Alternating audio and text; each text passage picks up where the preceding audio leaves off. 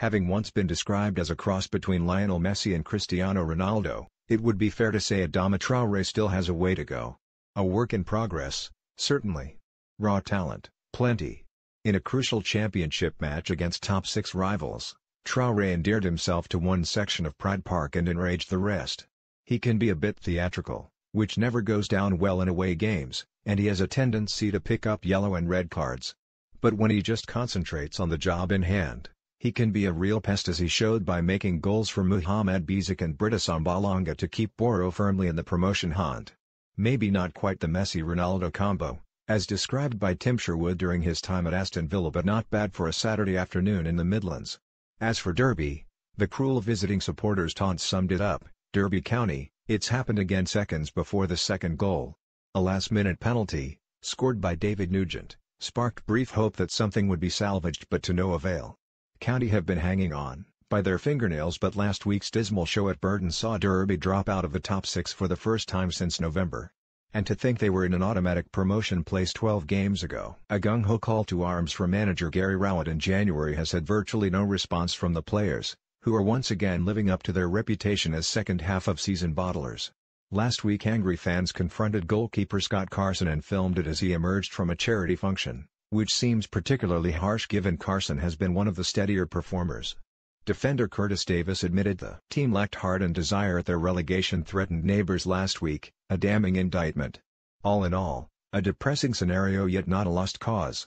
Finishing with three home games out of four, and with the benefit of a match in hand, Admittedly, against Cardiff, there was still an opportunity to grab.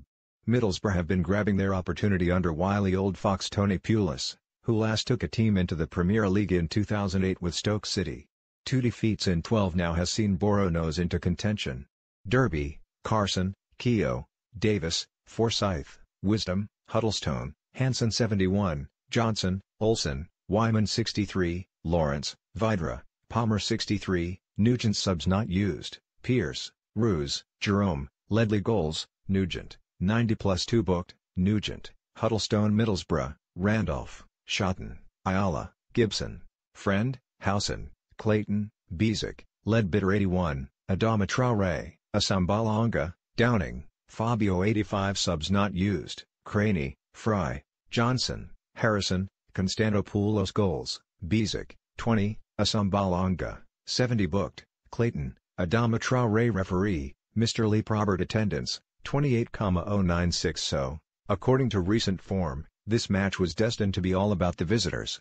In fact, with the help of a noisy home crowd, it was Derby who started the stronger and who built up a head of steam first.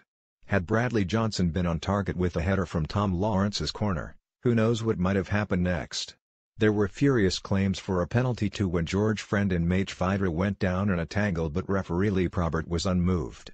The official, perhaps expecting a physical confrontation, booked Adam Clayton in the opening 50 seconds, laying down a marker. Having been in charge for the first quarter of the game, Derby found themselves behind with a move which asked a thousand questions about defensive placings. Traoré darted down the right, crossed for Besic, who took one step and connected perfectly. The effort was so powerful that Carson managed to get a touch without being able to divert it. At the squeaky bum end of the campaign, it can all come down to who takes their chances. For Derby the focus was on Vydra, supporters player of the season, PFA Team of the Year and EFL Team of the Year. The 20-goal striker would swap the lot for a place in the Premier League. He has history, too, having hit a hat-trick in the championship win in November to make it 4 in 5 games against Boro. Pulis had clearly highlighted him as the danger man and the forward had one of his most anonymous games, subbed after an hour.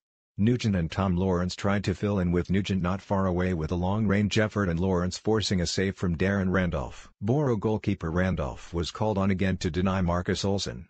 But Boro looked comfortable and dangerous on the break. Johnny Howson skimmed the bar before Traoré repeated his first goal trick and set up Assombalonga. The Derby fans were streaming towards the exit long before the end with Cardiff next on Tuesday. Many missed Daniel Ayala's challenge on Curtis Davies which earned the home side a penalty, taken well by Nugent. Too little, too late.